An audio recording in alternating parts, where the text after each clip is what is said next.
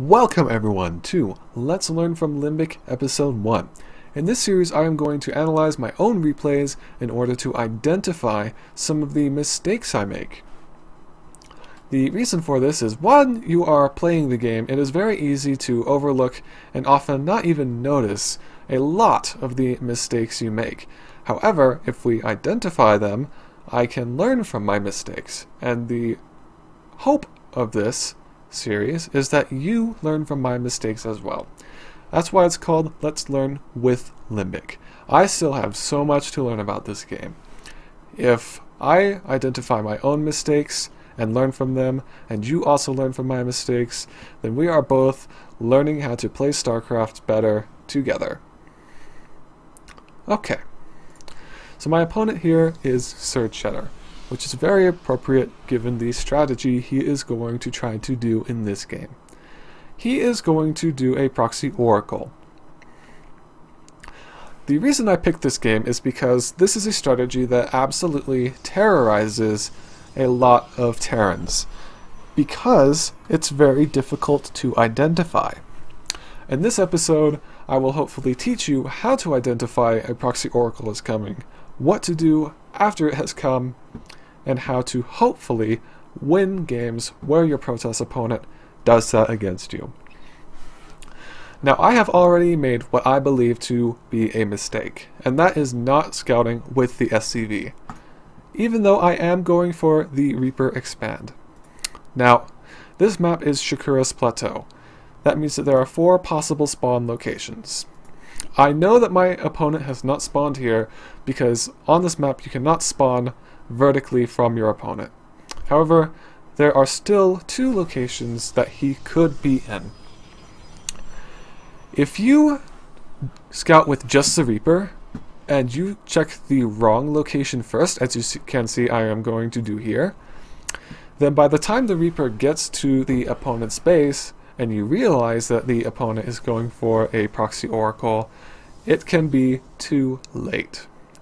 If I scouted with my SCV, not only would I get the scout off with the SCV, of course, but I would know where my opponent is, and I would not have to waste the time that it will take for me to check this empty location first.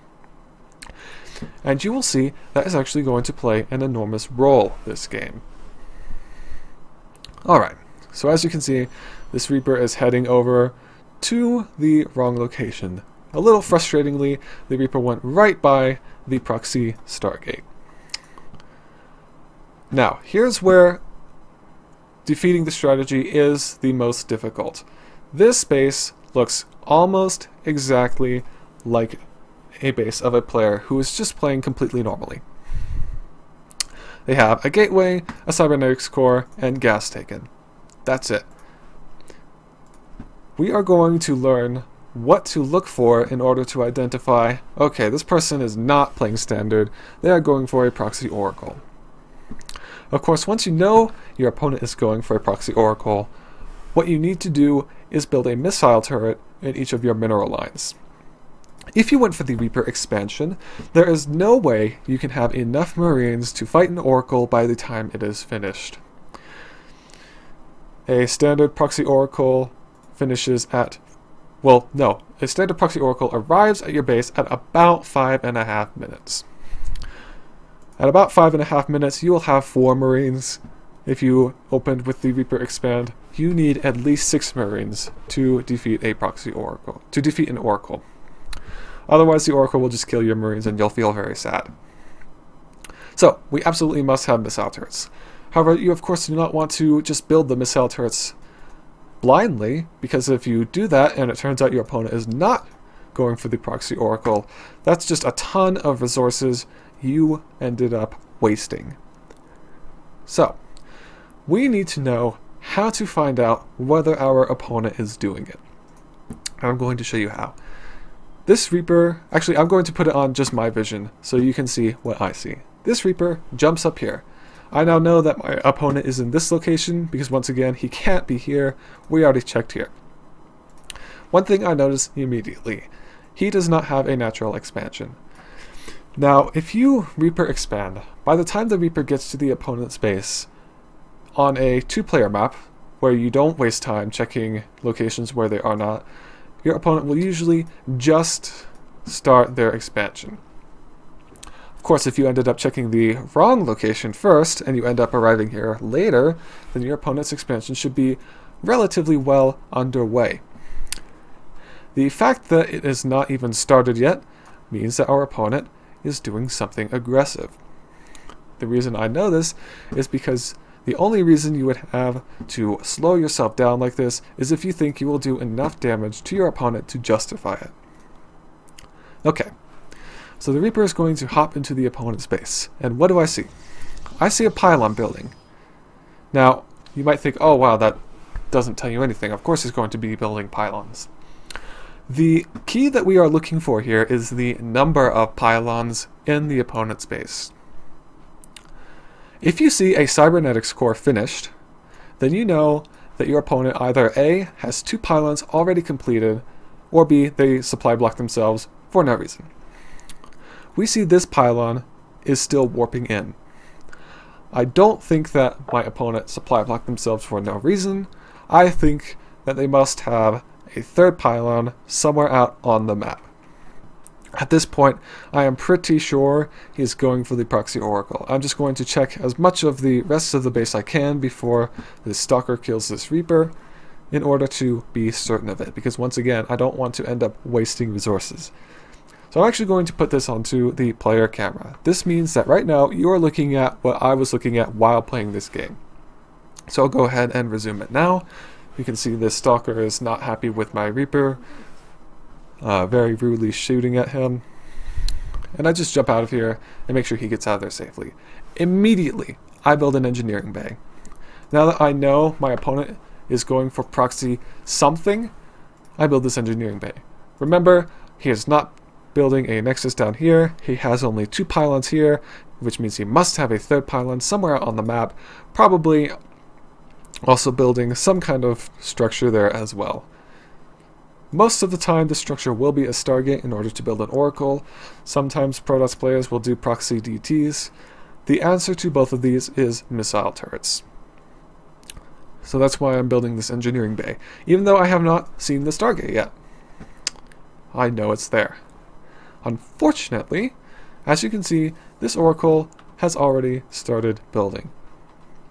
Oracles take 50 seconds to build, even less with Chrono Boost. Each Chrono Boost the opponent uses on this will shave off 10 seconds.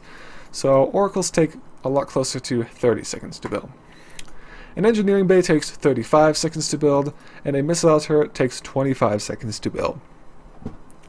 This means that even without Chrono Boost, if you start the Engineering Bay and your opponent starts the Oracle at the same time, there is no way you could possibly have a missile turret completed by the time the Oracle is done. Now, if I had SCV scouted and I knew where my opponent was, not only may, have, may I have been able to figure out my opponent was doing this just with the SCV scout, but the Reaper would have just moved from my base to my opponent's base instead of wasting time with this detour. I lost about 20, maybe 30 seconds doing this. Imagine if I had realized that my opponent was pulling off this strategy uh, 20 to 30 seconds earlier. This engineering bay would have gone down 20 to 30 seconds earlier, and the missile turret would have also gone down about 20 to 30 seconds earlier. And you will see just exactly how huge that ends up being. So right now I am just adding on my additional barracks. These are a tad late. That was a mistake of mine. Notice I kept this Reaper alive. I will be using him to scout again later. And I'm just loading up this bunker that I have already made. Okay. Remember how I said a Proxy Oracle arrives at your base at about 5 minutes 30 seconds? Well, we're at 5 minutes 30 seconds and the missile turret just started. Once again, missile turrets take 25 seconds to build. Imagine if this had gone down 30 seconds earlier. It'd be done, not just starting. And I would have taken zero damage from this oracle. Instead, because of the fact that I did not see this in time, I am going to take tons of damage from this oracle, as you can see here. So I try building a missile turret. Unfortunately, he kills the SCV that was building it. I start a missile turret down here. And luckily, he tries to come down here and kill that too, but he runs out of energy. So this location, at least, will be safe to mine from. Okay, so I sent the Reaper in his base, had a little look around, and then parked him at the Xel'Naga watchtower. I will be using him again later. You can see once again I'm trying to build this missile turret. He built a second Oracle, and I know that's a second Oracle because the first one cannot have enough energy to start killing SCVs again. So I'm well aware that he's built two now. And he once again denies this missile turret. This time, however, I'm going to be able to finish it. He tries again, fails, and I will be able to mine from this location again soon. He killed seven SCVs with that. That is huge. I have 17 workers now. In other words, he destroyed about a third of the workers I've totally built this game, bearing in mind that I have been building workers to replace since those 7 SCVs have died. I believe the best option for my Protoss opponent here would it have been to just expand and try to play standard. That, however, is not what he has decided on doing. He has added on two extra gateways. He wants to do a one base all in and end this game quickly. Remember how I mentioned that I kept this Reaper alive? You will see exactly how invaluable it ends up being. So I move him in here, I see that there is still no expansion. I know now that he must be doing some kind of one base all in, because otherwise he would have the expansion by now. So I send the Reaper into my opponent's main to confirm what I basically already know. I see two additional gateways and I'm saying to myself, okay, this guy's definitely going to try to kill me now. I need to add on some extra bunkers, which is exactly what I do. You can see the Reaper once again gets out with his life, Oracles are trying to be annoying. Fortunately, I managed to ward them off. And I build a tech lab. I am going to start stim as soon as I can. The reason for this is stim is basically the anti-all-in. All all-ins used against Terrans are basically designed to kill them before they get stim. It is much harder to destroy a Terran who has stim than it is to destroy one who does not. As you can see, I'm even building a missile turret here to protect this add-on that is researching stim, because I don't want him to just run in with a couple of oracles and destroy it before the research finishes. I am just adding on as many units as I can. I'm building a Marauder since I figure he's probably going to have some Stalkers. And I'm just building lots of Marines since I know he has Stargate units. I add a missile turret to my little wall here. I figure by this point he's probably building Void Rays in order to bust these bunkers. Void Rays with their prismatic alignments deal tons of damage to bunkers because they are armored. Even if he wasn't building Void Rays, this missile turret would still be useful against the Oracles. Now here's another mistake I made. When, for one, these SCVs were pulled too late. They should have been ready and waiting. For two, when I pulled them, as you can see here, I clicked the auto repair icon, foolishly assuming that they would go to this bunker. Instead, if we go back just a few seconds, you will see that there was a slightly damaged SCV. It's this one here that they decided was way more important to repair than this bunker. Ready? See that? See how instead of repairing the bunker, they're all crowding around this SCV to repair it? Had I not done that, I probably would have been able to save this bunker. You can see I managed to kill one of the oracles, because he is actually not using Guardian Shield on these sentries. Guardian Shield is hugely important right now. Bear in mind that my army is almost entirely Marines. Guardian Shield will reduce the damage of Marines by 33%. Not using it is just silly. One Guardian Shield is much better than an extra force field, I promise you. So this bunker I am going to lose because of that silly auto repair thing, but I managed to keep everything else alive. Now, this is actually starting to look very good for me. My opponent is on a 1 base economy. I am on a 1.5 base economy, I'd say. I definitely would not call this fully operational, but I do have two orbital commands constantly producing SCVs and mules. Unfortunately, right now, I am supply blocked. There is actually no excuse for this. I did not lose any supply depots in that attack. This is the worst possible time to be supply blocked in situations like these. Right now, I cannot build anything out of these barracks until a supply depot is finished. As, I, as you can see, I am just now starting one. Supply depots take 30 seconds, barracks units usually take about 30 seconds, marines take 25 seconds, marauders take 30. In other words, I am going to lose a complete round of barracks units due to this supply block. In situations like these, that is huge. Imagine this fight if I had an additional three Marines and an additional Marauder. I basically lost that due to being supply blocked. Not getting supply blocked is super important, and that's something that I definitely need to work on. Not losing my cool, not getting distracted and nervous and, you know, not messing up because it is, in my defense, very easy to kind of lose your focus and lose your sense of rhythm in the game when it ends up like this, when you're put in a situation that you're not comfortable with and you know all your timings are thrown off. However, that's something that I really should try to be better about. However, things are looking up for me. I still have a reasonably well defended area, and my stim is almost done. Remember what I said about stim basically being the anti-all-in? You are going to see exactly why that is the case.